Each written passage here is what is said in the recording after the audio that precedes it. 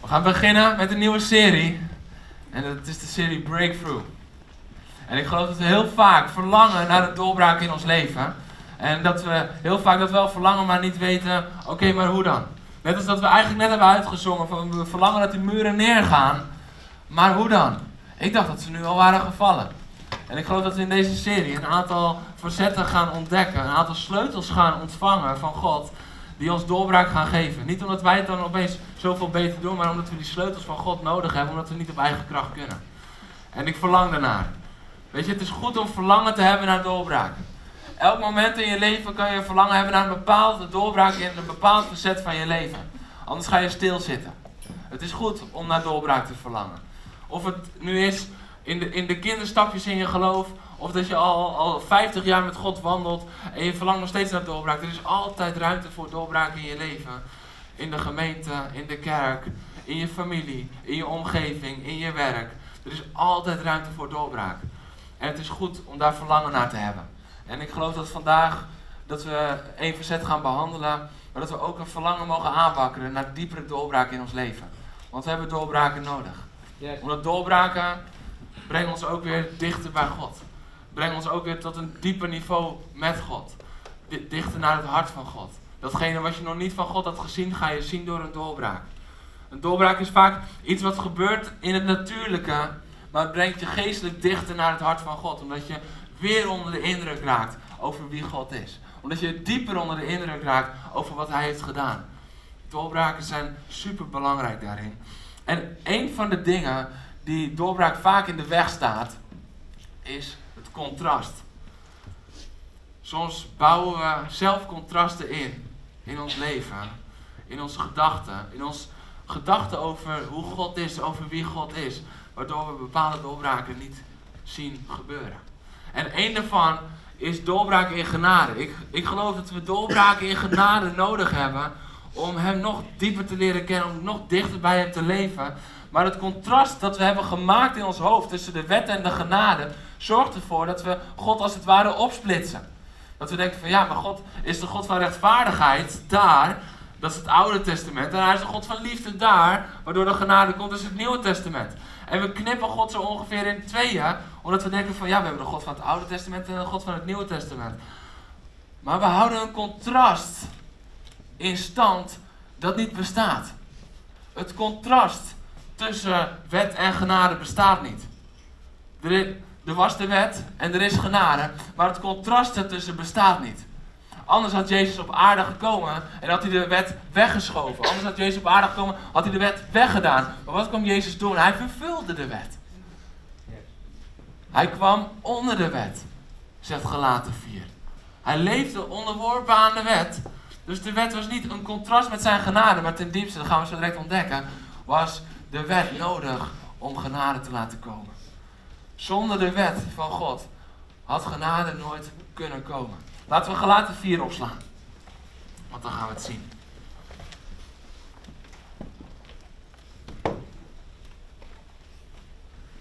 Galaten 4, vers 4 en 5 wil ik lezen met elkaar. Laten we gaan staan.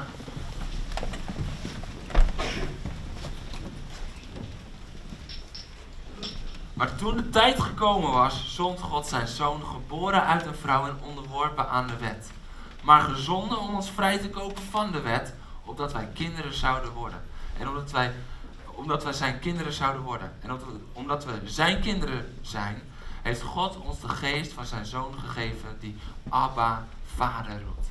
Die papa, vader roept. Omdat we nu zijn kinderen zijn, kunnen we niet alleen het onze vader bidden, maar kunnen we papa, vader bidden omdat wij nu zijn kinderen zijn, zijn we niet meer onder de wet. We zijn vrijgekocht van de wet, zegt dit vers. En mogen we zeggen, papa, vader, we zijn uw kinderen weer geworden. We zijn weer terug bij ons original design. Zoals u ons heeft bedoeld, heeft gemaakt, daar zijn we nu weer naar teruggekomen. Want u bent onze papa, vader. Ga lekker zitten.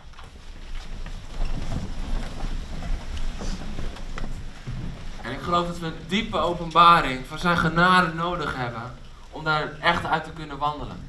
En we geloven vaak dat we genade hebben ontvangen. We geloven vaak dat, dat, dat zijn goedheid ons heeft gered. We geloven vaak dat er leven is na de dood en, en dat we daarin naar de hemel zullen gaan. Maar hoe zit het de genade op dit moment in jouw leven? Weet je, ik kom er steeds meer achter in gesprekken die ik voer. Dat het eigenlijk heel erg vaak is, we horen op zondag over de liefdevolle vader, maar we ontmoeten de rechtvaardige God op dinsdag als we een fout hebben gemaakt en we voelen ons weer schuldig. En we durven niet onder ogen te komen.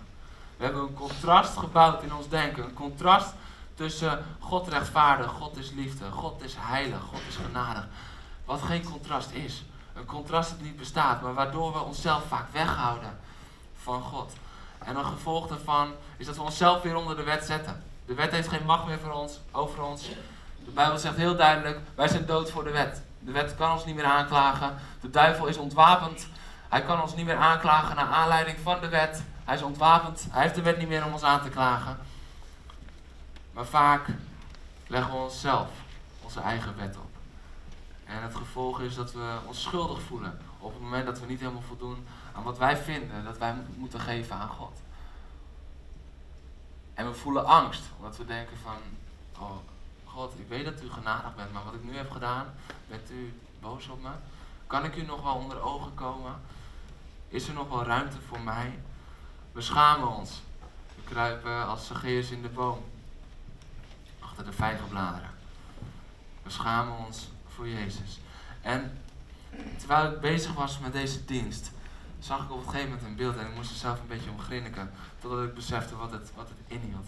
En stel je even voor, je loopt de badkamer binnen en of je broer of je zus of je partner of je kind of uh, je vader of je moeder, die staat zich te wassen in de badkamer. Netjes met een washandje. En uh, die staat zich helemaal, helemaal schoon te maken. En je zegt van, joh, geen tijd om te douchen? Jawel, jawel, ga ik zo doen. En ze staat zich te wassen of hij staat zich te wassen. En je zegt van, ja, maar um, als je gaat douchen, waarom ben je nu aan het wassen dan? Je bent een beetje verward, toch? Dat is toch raar om je te gaan wassen voordat je gaat douchen? Ja, ja, nee, maar ik, ik wil schoon genoeg zijn voor de douche.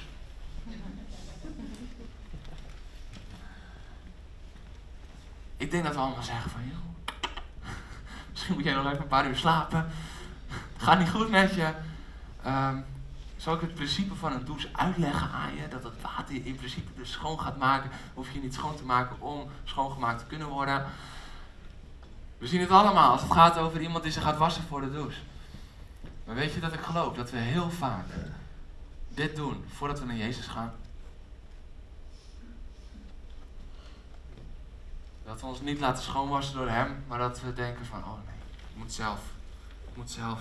Oh, ik heb gefaald. Ik durf van amper onder ogen te komen. Als ik nou mezelf weer een beetje schoon was. Als ik nou, als ik nou weer goed doe, dan kan ik hem weer onder ogen komen. Als ik nou dit verbloem en wat mooiers doe, dan kan ik hem weer onder ogen komen. En dat we heel vaak onszelf aan het wassen zijn voordat we gaan douchen. Als het gaat om ons geestelijk leven. De aanwezigheid van Jezus is een douche in jouw leven. De aanwezigheid van Jezus is wat jou helemaal schoon was. De aanwezigheid van Jezus is wat alles van jou afspoelt wat aan jou kleeft. Het stof, de viezigheid. Het is de aanwezigheid van Jezus, niks anders. Dat kunnen we zelf niet, dat hoeven we zelf niet, maar zo vaak doen we het wel zelf. Proberen we het zelf. En het gevolg is dat we langer van Jezus vandaan blijven, omdat we niet onder ogen durven te komen, omdat we onszelf te vies vinden om onder de douche te gaan staan. We hebben een diepe openbaring nodig wat genade is. Want als we genade niet begrijpen, kunnen we alle andere verzetten van God kunnen we niet pakken. Want die worden ons geopenbaard vanuit zijn liefde, vanuit zijn genade. We zijn gebouwd en gefundeerd op zijn liefde, op zijn genade. En ik zeg je eerlijk, ik heb de afgelopen weken verschillende gesprekken gevoerd met een aantal mensen uit de gemeente, een aantal mensen die inmiddels niet in de gemeente meer komen. Omdat ze erop aansturen om echt weer terug te gaan naar een stuk oordeel. Dat ze de genade die zin niet konden omarmen. En ze hebben ook met mensen gesproken, weet ik. En ik wil je echt aanmoedigen, als jij afgelopen weken die geluiden hebt gehoord. Over heiliging vanuit eigen kracht, over zelfverdienen, over een stuk oordeel. Dan zet je hart zo open voor deze boodschap. Want het is destructief in je leven. En als je mensen zo hoort praten in de gemeente, dan wil ik je echt uitdagen Kom naar een van de leiders toe. Want dat is niet wat we geloven. We geloven in de volheid van God, gefundeerd op zijn liefde. Johannes 3, vers 16 zegt: Uit liefde gaf hij zijn zoon. Niet uit rechtvaardigheid. Het is interessant hè, dat, dat God hier kiest om zijn liefde te benadrukken. Wat is de reden dat hij zijn zoon gaf? Om gerechtigheid te brengen. Maar wat is de reden dat hij het gaf om dat te gaan brengen? Was liefde. Door het offer van Jezus is ons zijn liefde duidelijk geworden. Door het offer van Jezus is ons ten diepste dus ook wel die rechtvaardigheid gegeven. Maar wat is er duidelijk geworden voor ons? Zijn liefde. Alles is gefundeerd op zijn liefde, op zijn genade. En als je daar een tegengeluid over hoort, geloven we dat je daar verder van moet blijven. Want voor je het weet zit je weer onder de wet en voel je je niet waardig genoeg. Terwijl hij zegt, maar jij bent mijn kind. Amen. Je gaat weer terug in de, in de houding als een slaaf, als een verloren, maar jij bent mijn kind. En jou kan niets gebeuren, want je bent in mijn armen. Ik ben jouw vader. En ik hou van jou, ik heb jou vrijgekocht. Yes. Gelaten 4 zegt, Jezus kwam onderworpen aan de wet. Niet om hem weg te doen, maar om hem te vervullen dus. Gezonden om ons vrij te kopen van de wet, zodat wij kinderen zouden zijn van God. Yes.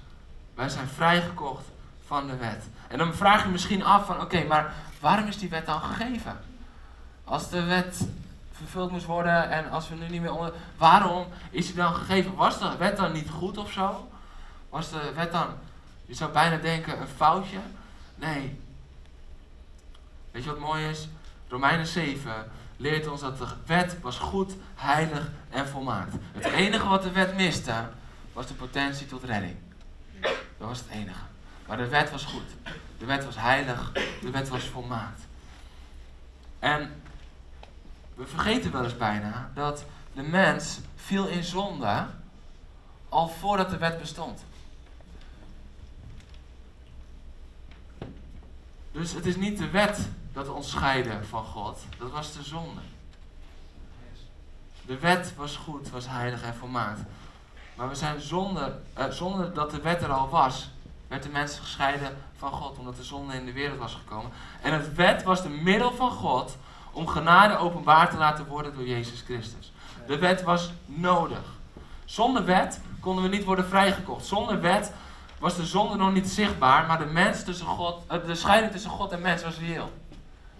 Romeinen 7, vers 7 zegt ons dat door de wet de zonde zichtbaar werd.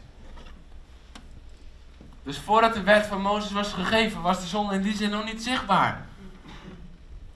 Maar de scheiding tussen God en mens was reëel vanaf de zondeval. Dus de wet is iets wat ons gegeven is. En dat is dus niet in contrast met Gods genade. Maar was noodzakelijk om Gods genade doorgang te kunnen geven. Doordat de wet er was, kon de prijs betaald worden. Want zonder de wet kon de prijs niet bepaald worden. Dus kon de prijs ook niet betaald worden. Zo, zo belangrijk om te beseffen. De wet was er om de prijs te bepalen, zodat Jezus de prijs kon betalen. Daarom moest hij onderworpen aan de wet leven. Daarom moest hij volledig zich houden aan de wet om de wet te vervullen om ons vrij te kunnen kopen. Want wij zijn nu vrij van de wet. Amen. Romeinen 6, vers 14 zegt: De zonde mag niet langer over u heersen, want u staat niet onder de wet, maar leeft onder genade. De zonde mag niet langer over u heersen. Weet je dat ik deze jarenlang heb gelezen als een opdracht voor mij?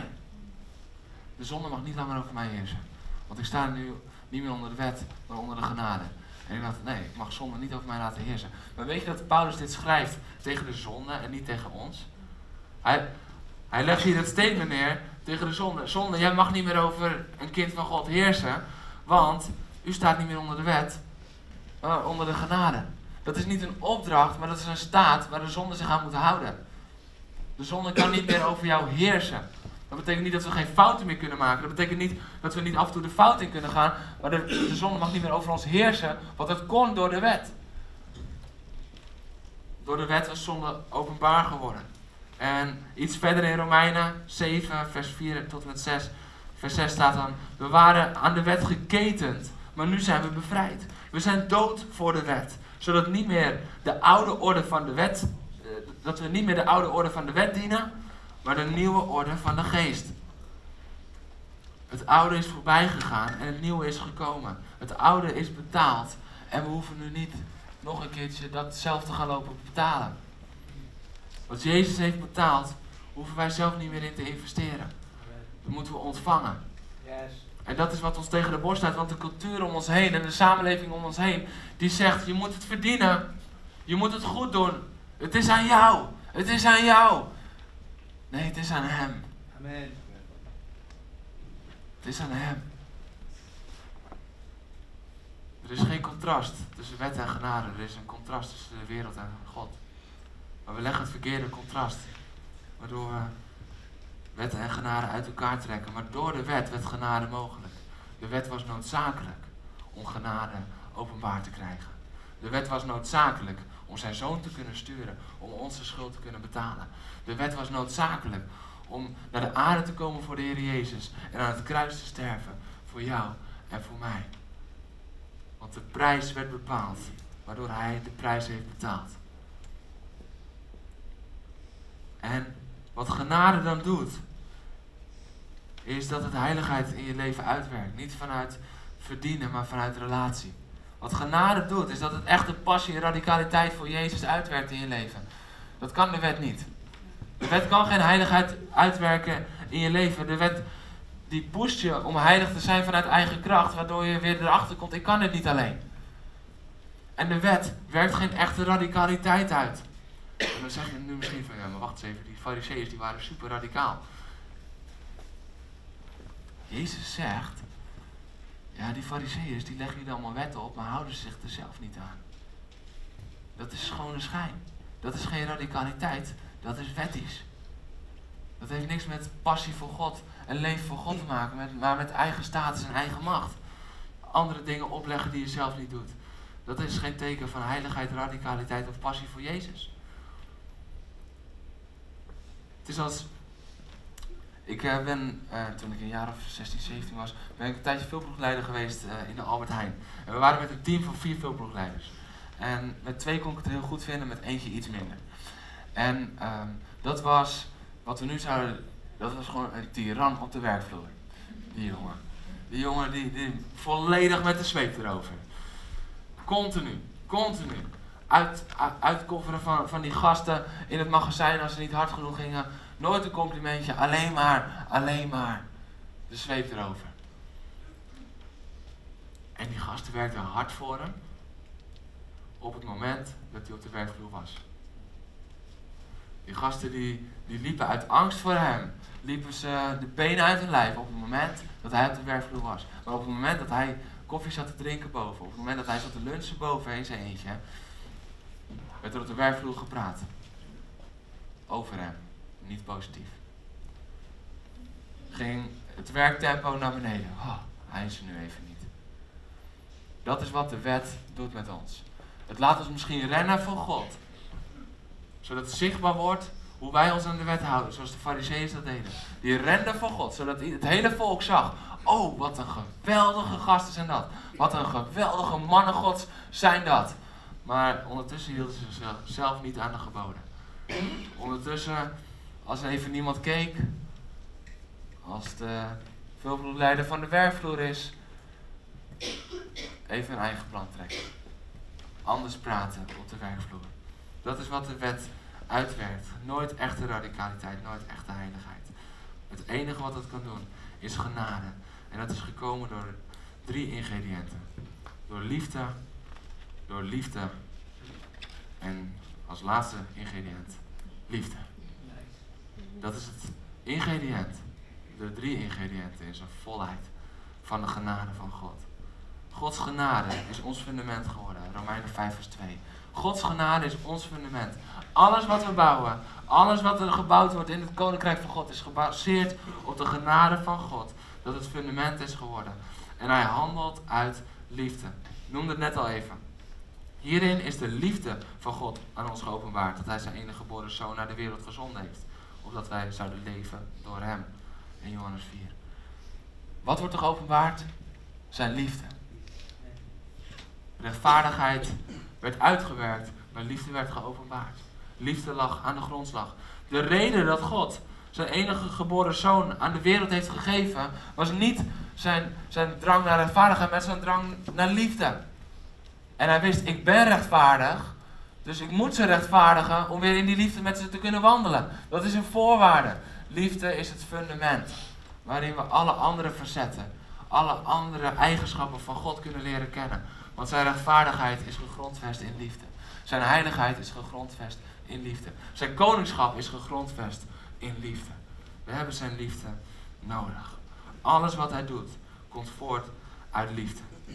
En dat brengt mij bij. Jullie dachten misschien van, wauw, dit wordt een heel lekker avondmaal. Maar nee, dat is gewoon echt nog brood.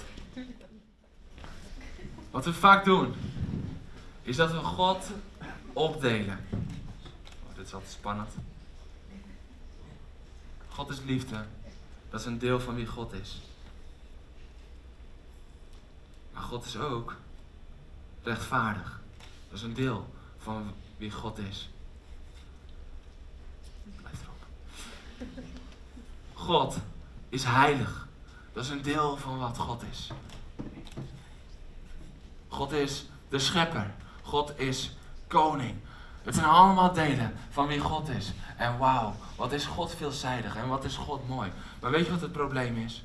Als we het op die manier doen, dan mist de liefde op het moment dat God rechtvaardig is. We koppelen het van elkaar los. En we maken een contrast tussen deze taartpunt en deze taartpunt. Want dit is heel duidelijk, God is liefde.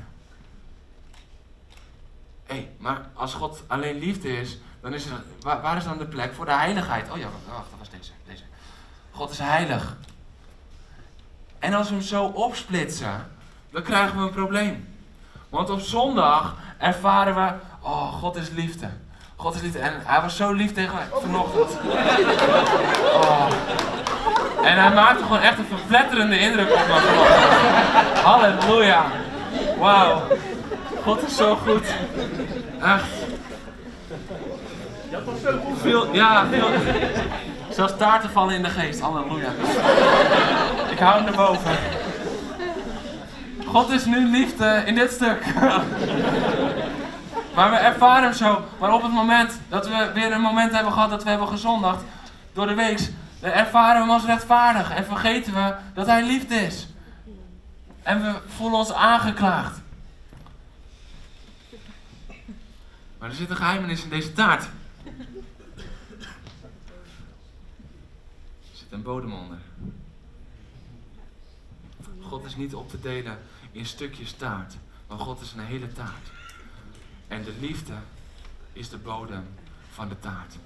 Alles van God is gegrondvest in zijn liefde. Alles van deze taart kan bij elkaar blijven omdat er een bodem onder ligt. Alles van God is bereikbaar geworden voor ons, is behapbaar geworden voor ons. Deze kwam nu. Deze had ik helemaal niet. Deze kwam nu. Is behapbaar geworden voor ons, omdat het op de bodem ligt op de bodem het fundament van liefde. Want genade is ons fundament geworden. Liefde is ons fundament geworden. Omdat Jezus, uh, omdat God de wereld zo lief had, de bodem, heeft hij zijn zoon gestuurd. Alles komt samen in zijn liefde.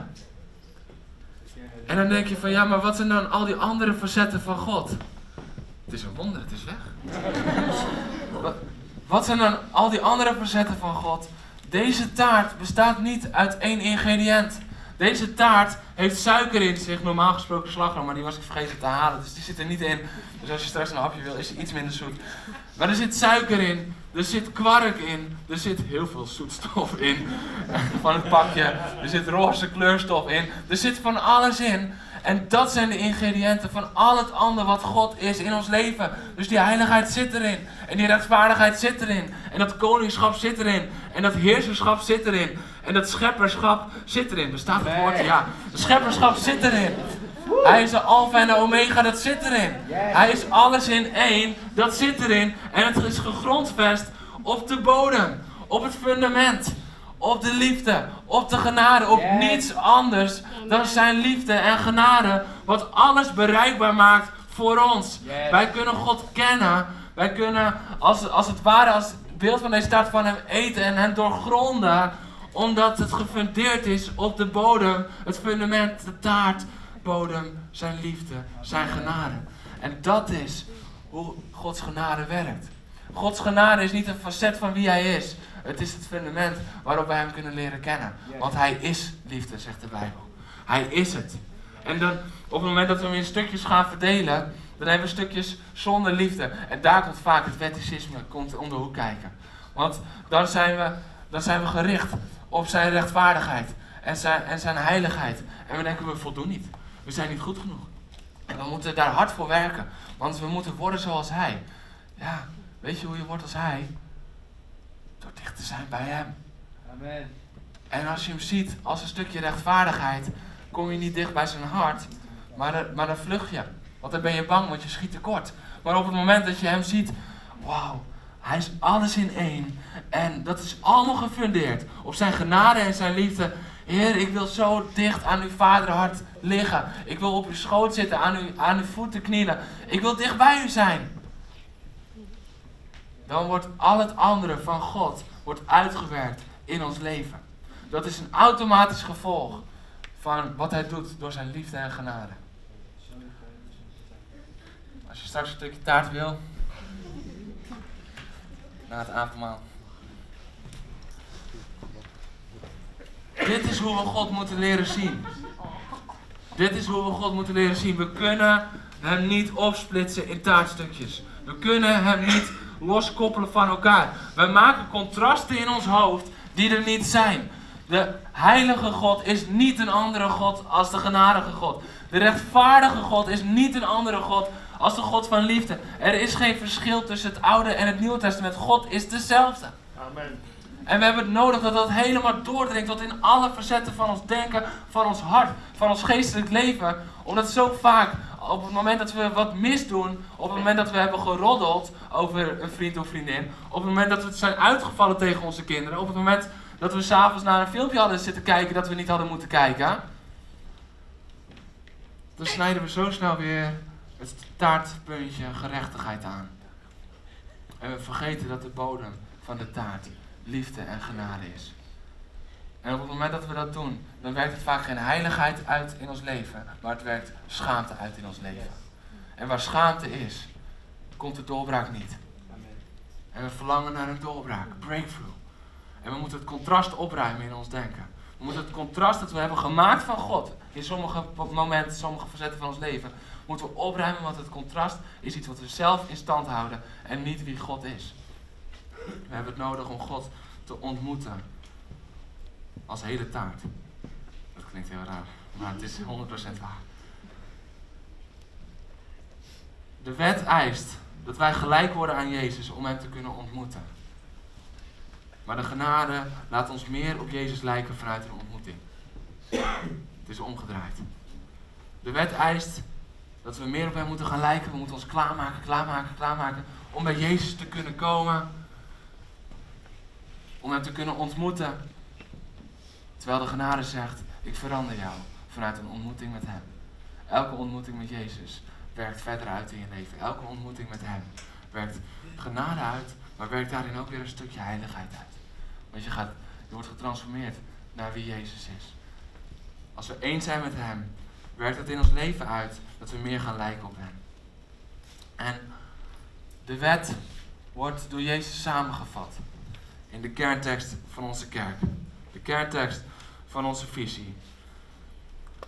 Het is weer een fariseer die bij hem komt om hem op de proef te stellen. Die kwamen nooit echt om een vriendelijk babbeltje te maken. Die kwamen altijd om hem op de proef te stellen of om hem in discrediet te brengen. En hij zegt, Heer, wat is het grootste gebod van de wet? En dan antwoordt Jezus, heb de Heer uw God lief. Met heel uw hart, heel uw ziel en al uw verstand. Dat is het grootste en het eerste gebod. Het tweede, daaraan gelijk, is heb je naaste lief als uzelf. Heb God lief, heb je naaste lief, heb jezelf lief. Liefde, liefde, liefde. En dan zegt hij, deze twee geboden zijn de grondslag van alles wat er in de wet en de profeten staat. Alles wat er staat. Alles wat gericht was op een stuk rechtvaardiging. Alles wat gericht staat op een stuk heiliging. Alles wat ze moesten doen was gegrondvest in heb lief. Heb lief, heb lief. De liefde is het fundament. Weet je, misschien denk je nu van ja, maar Jezus was niet alleen liefde. Nee, dat klopt. Hij was tegen een aantal figuren was hij heel duidelijk. was die heftig. Maar steeds weer waren dat mensen die de wet boven de liefde zetten. Steeds weer waren dat de mensen die God loskoppelden van liefde en alleen het stukje rechtvaardigheid van God lieten zien, die één taartpunt pakten. En die niet bereid waren om mensen tot Gods hart te leiden met liefde. Wie ook bij hem kwam, afgezien van de wetgeleerden die de wet boven de liefde zetten, hij ontving ze met liefde. Of het nou de overspelige vrouw was. Ze was overspelig, ze was op hete daad betrapt. Wat doet Jezus? Liefde. Hij spreekt er vrij op basis van liefde. Niet op basis van de wet, want volgens de wet was ze schuldig. Maar de liefde lag grondvest aan de wet. En hij confronteert de anderen met de wet. Oké, gooi maar, maar zorg wel. Oh, degene die zonder zonde is, die mag gooien. En hij spreekt er vrij. Jezus geneest op de Sabbat. Vol tegen alles wat de fariseeërs wilden in. En hij zegt van ja, maar dit is de dag om goed te doen. Dit, dit is om, om goed te doen. De Sabbat is er niet om de, de wet te vervullen, maar de Sabbat is gegeven. We hebben drie weken geleden hebben we het gehad over de barmhartige Samaritaan. Weer een gesprek tussen Jezus en een wetgeleerde en een fariseer. Een van de dingen die Jezus hier ontzettend duidelijk wil maken, is het verschil in jouw handelen of je op de wet of op de liefde gericht bent. De leviet en de priester, die mochten niet in aanraking komen met doden. Dus tijdelijk konden ze hun ambt niet vervullen. En het is heel aannemelijk, en verschillende bijbeluitleggers leggen dit ook zo uit, dat, dat het voor hun met die wijde boog eromheen, dat dat niet alleen is van oké, eh, ik wil daar niks mee te maken hebben, maar dat het ook een stuk was van ja, ik moet hier met een wijde boog omheen, want anders laat ik mijn kerk in de steek. Want dan kan, dan kan ik niet mijn, functie vervullen. Met een wijde boog omheen om rein te blijven. Want het is niet goed als ik onrein word, want dan, dan kan ik niet meer. De wet schrijft dit voor. En weet je wat, wat je ziet in het verhaal van de barmhartige Samaritaan? De focus op de wet drijft je weg van liefde voor mensen. Drijft je weg om mensen te helpen. Drijft je weg om er voor je naast te zijn. Om naast te worden voor de ander. Maar er was één iemand die had niet zoveel last van de wet. Want dat was een Samaritaan. En die Samaritaan, die ging wel naar het slachtoffer toe. Die ging niet met die wijde boog, omdat hij dacht van ja, want dan heeft het gevolgen. Nee, die zag iemand en die werd de naaste van degene. De wet drijft je af van mensen, van anderen. Terwijl de liefde trekt je toe, de anderen. Jezus laat steeds weer zien, de liefde is de grondslag. De genade is de grondslag. God gaf de wet niet om ons aan te klagen, maar de duivel gebruikt hem om ons aan te klagen. hij werd vanuit liefde gegeven, wetende wat goed is voor ons. Maar het hart werd eruit gehaald door de fariseeërs. Waardoor de wet destructief werd en de wet een obstakel werd om God te ontmoeten. Het is belangrijk dat de liefde altijd blijft zegenvieren, want de liefde was de grondslag van alles wat er in de wet en de profeten staat. Alles. Het hele Oude Testament. Ik wil afsluiten met de laatste woorden van de Heer Jezus aan het kruis. Jezus hing daar en hij riep uit: Het is volbracht. En ik geloof dat we heel vaak in ons leven bezig zijn, druk bezig zijn op eigen krachten volbrengen waarvan hij zei: Het is volbracht. Dat we vaak bezig zijn Nee, maar ik, ik, ik moet dit. Nee, maar als ik, niet, als ik dat niet doe, dan ben ik niet goed genoeg. Als ik niet genoeg doe voor God, dan ben ik hem niet waard. Als ik, als ik niet genoeg stille tijd hou op een dag, dan ben ik het niet waard om zijn kind te zijn. Ik moet volbrengen waarvan Jezus zei: Het is volbracht. Het is volbracht. Dat is afgesloten. Dat is niet het wordt volbracht dat het nog uh, toekomende tijd in zit. Nee, het is volbracht. Dat is verleden tijd. Het is nu volbracht. Dat stopt hier. De strijd stopt hier. De wet stopt hier, want hij is vervuld. Yes. We zijn vrijgekocht van de wet. Het stopt hier. We proberen zo vaak zelf te volbrengen waarvan Jezus aan het kruis uitriep, het is volbracht. We hoeven de wet niet meer te volbrengen. Hoeven de liefde van God niet meer te verdienen. Hoeven niet meer te presteren om zijn kinderen te zijn. Jezus zei, het is volbracht. En daarom zijn we kinderen geworden van de Allerhoogste God.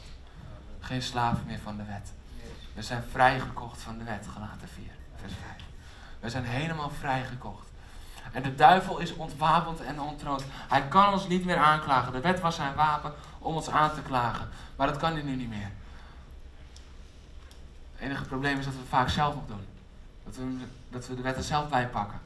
Dat we God opknippen in verschillende delen. Snijden in verschillende partjes. Waardoor we hem als rechtvaardige God op een ander moment los zien van een, hij is liefde. Maar hij is één. We kunnen God niet opknippen. We kunnen God niet in verschillende taartstukjes verdelen. De bodem is zijn liefde en genade. En daarop zijn al zijn eigenschappen samengekomen. En volledig voor ons beschikbaar. Nadat we kunnen wandelen naar zijn hart. Wij zijn geroepen om in vrijheid te leven. Ik wil vragen of de team alvast wil komen ondertussen. Wij zijn geroepen om in vrijheid te leven, zonder aanklacht van de wet. De wet kan je niet houden, zegt de Bijbel. Misschien kan je delen van de wet houden. Maar op het moment dat je in één verzet struikelt, heb je voor de hele wet gestruikeld. Daarom heeft Jezus de hele wet volbracht. Heel, helemaal vervuld. Hij heeft alles vervuld. Zodat hij kon zeggen, het is volbracht. Dat is een duidelijk statement. Alles is volbracht. Het is nu klaar. Het is nu klaar. En hoewel jij je misschien nog zo vaak aangeklaagd voelt, dat is niet mijn stem, zegt God. Maar dat is of misschien je eigen stem of de duivel die je probeert van buitenaf lekker te beïnvloeden. Maar dat is niet de waarheid. Want de waarheid is dat je een kind van de Allerhoogste God bent. Dat genade jouw deel is geworden. En dat je nu mag leven uit genade. De Bijbel zegt dat we mogen leven uit genade. En we worden gerechtvaardigd in onze relatie met Hem. We zijn het al. Maar we zullen er steeds meer naar gaan wandelen. We zijn heilig geworden op dat moment. En we zullen steeds heiliger gaan wandelen, omdat we met Hem optrekken. Als we maar aan zijn hart liggen. Als we maar aan zijn hart wandelen. We hebben zijn hart nodig. En we verlangen ernaar. Naar een doorbraak in genade voor de gemeente. Ik verlang ernaar dat we vrij zijn hier. Dat we oprecht kunnen zeggen, ik wandel als kind van God in volledige vrijheid. Weet je hoe lang ik mezelf heb aangeklaagd totdat er een woord van God kwam door een profeet die ik nog nooit had ontmoet. Maar ik heb me jarenlang, van mijn dertiende tot mijn, ik geloof dat ik daar de 21 of 22 was toen ik die profetie ontving, heb ik me continu aangeklaagd. Heer, ik had meer voor u kunnen doen. Ik had het beter kunnen doen. Ik had meer kunnen doen. Ik had beter kunnen investeren. Het was niet goed genoeg. En continu was dat stemmetje er. En wat was het gevolg van die stem? Dat ik het moeilijk vond om God onder de ogen te komen. Wat was het gevolg van de stem van God die op dat moment sprak? Hij zei, letterlijk door die profeet heen. Dat was trouwens pastor Michel, die hier ook heeft gesproken. Hij zei letterlijk, Jeroen, je hebt het goed gedaan. Ik ben trots op je en ik weet dat jij iedere keer van jezelf vindt dat je meer had moeten doen. En ik heb je gezien, ik heb je tranen gezien dat je weer baalde van jezelf. Maar mijn zoon, ik ben trots op jou. Je hebt het goed gedaan. En daar kwamen woorden van waarheid. En daar gebeurde een bevrijding. Daar gebeurde een doorbraak die ik nou, nog nooit zo sterk in mijn leven heb ervaard als toen. En ik leef daar nu nog steeds uit. Zonder schuldgevoel. Als je een keertje een dagje wat minder hebt geïnvesteerd. Niet om laks te worden, maar om aan zijn hart te blijven in plaats van veroordeeld te worden door jezelf. Want weet je wat het gevolg is van de wet? Dat als je een fout maakt, dat je er niet alleen bewust van bent, maar dat je dagenlang bij God afblijft. Ik denk dat het voor heel veel van ons herkenbaar is. Ik heb dagen gehad dat ik God niet onder de ogen durfde te komen als tiener, omdat ik gefaald had. Omdat ik had gerollerd over iemand, omdat ik op seksueel vlak het moeilijk had gehad. En dan bleef ik dagen bij hem weg, want ik voelde me niet waard om bij hem te komen. Dat is het gevolg van de wet. Waarvan Jezus zegt, je bent vrijgekocht. Yes. Je bent vrijgekocht om Gods kind te zijn.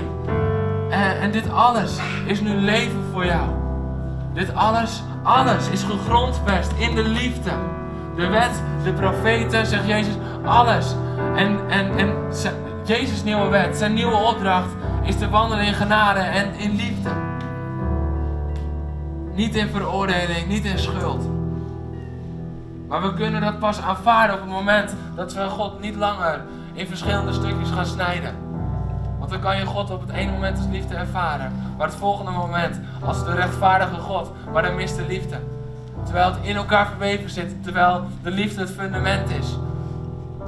Uit liefde gaf hij zijn zoon. Uit liefde, het fundament. En ik geloof dat God doorbraak wil geven in je leven vandaag. Waar jij doorbraak hebt, nodig hebt. Op gebied van genade. Laten we gaan staan met elkaar.